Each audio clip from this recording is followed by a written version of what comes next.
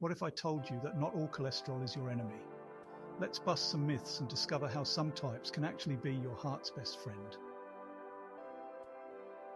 Hey there, health enthusiasts. Today we're diving into the world of cholesterol. It's not just a buzzword, it's the ultimate battleground for your heart health. Cholesterol might sound scary, but it's a waxy substance found right inside our bodies. And guess what? It's not all bad news. We have two main types LDL, which you might know as the bad cholesterol, and HDL, often celebrated as the good cholesterol. Here's where the showdown begins. While LDL loves to clog up your arteries, forming those nasty blockages that can lead to heart disease, HDL plays the hero.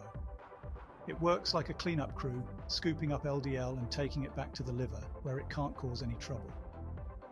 Now, hold on to your seats for some jaw dropping facts. Did you know heart disease is the leading cause of death worldwide? That's right. And maintaining a healthy cholesterol balance can significantly reduce your risk. So, what can you do about it? First, eat a heart healthy diet. Think lots of fruits, veggies, and whole grains. Second, get moving. Regular exercise can boost your good cholesterol levels. And finally, say no to smoking. It's a big no no for heart health. As we wrap up, remember, managing your cholesterol isn't just about avoiding the bad, but also embracing the good.